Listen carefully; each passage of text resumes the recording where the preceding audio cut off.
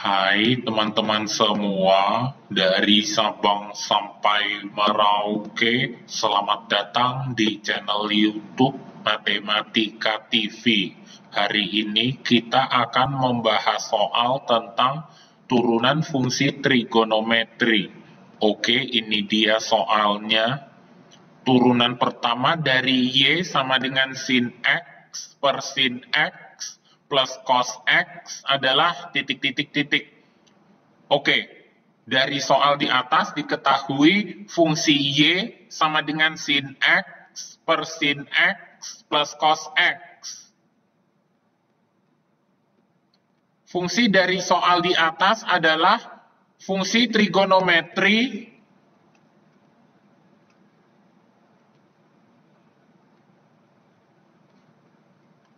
berbentuk pecahan.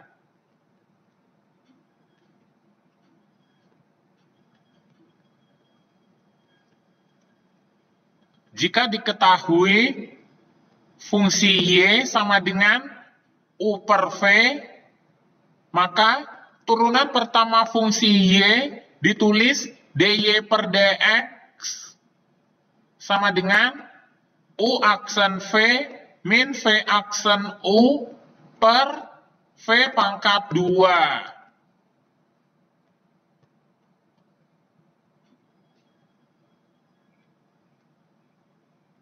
Dari soal di atas diketahui fungsi Y sama dengan sin X per sin X plus cos X.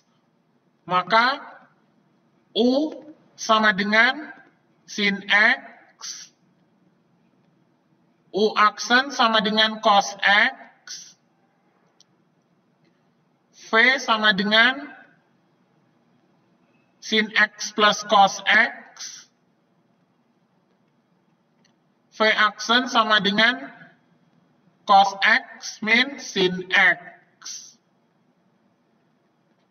Maka, turunan pertama fungsi Y ditulis dy per dx sama dengan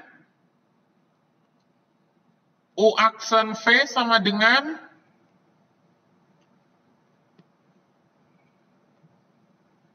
buka kurung cos X, tutup kurung, buka kurung,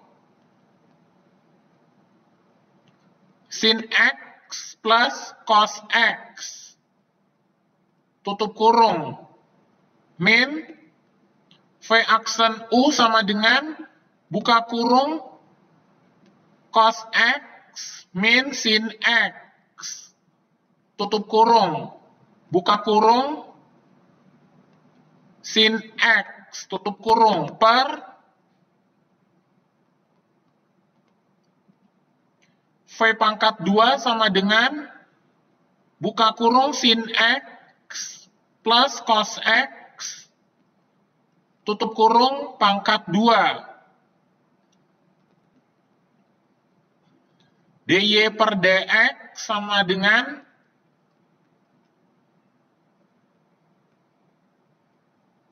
sin x cos x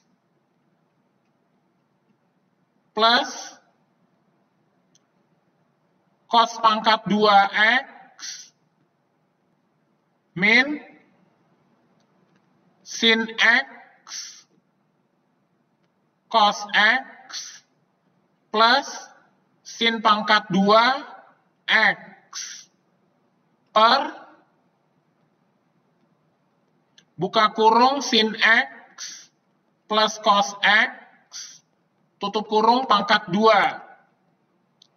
sin X cos X min sin X cos X habis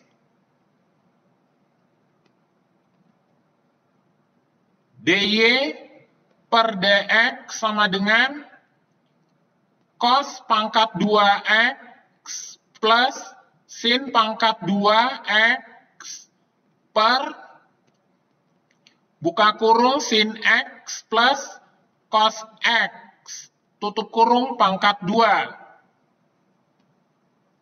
dy per dx sama dengan cos pangkat 2x plus sin pangkat 2x sama dengan 1 per buka kurung sin X plus cos X tutup kurung pangkat 2. Ini dia jawabannya.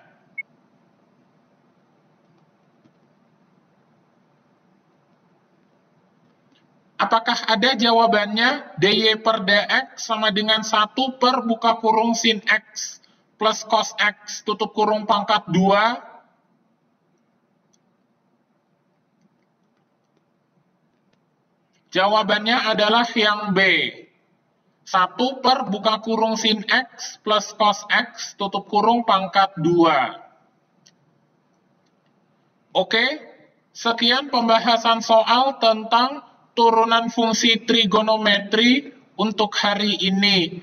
Oke, terima kasih sudah menonton video kita di Matematika TV. Jangan lupa klik tombol subscribe, like, komen, dan share. Kalau ada pertanyaan, follow akun Instagram kita at Matematika TV Official. Sukses selalu ya!